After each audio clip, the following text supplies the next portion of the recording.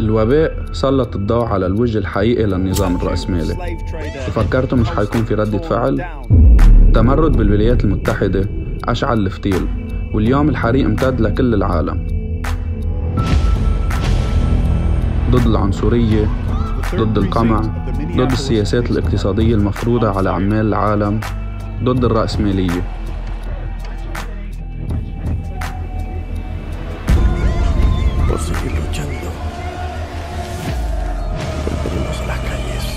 Que nunca.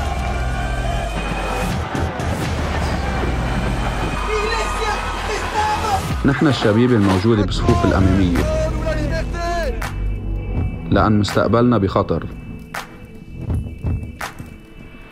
هن بيقدموا وظائف بدون ضمانات دمار بيئي وظلم النظام الأبوي.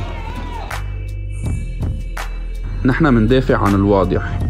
حق الطبابة حق العلم وحق العمل. لازم نقلب كل المعادلات.